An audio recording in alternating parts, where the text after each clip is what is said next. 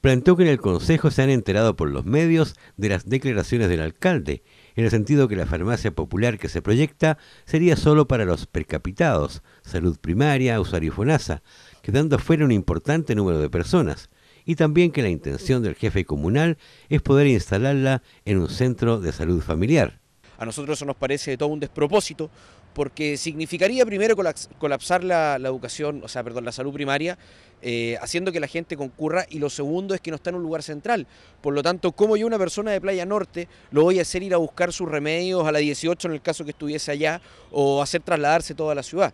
Para nosotros, la farmacia comunal o la farmacia popular tiene que ser en el centro de la ciudad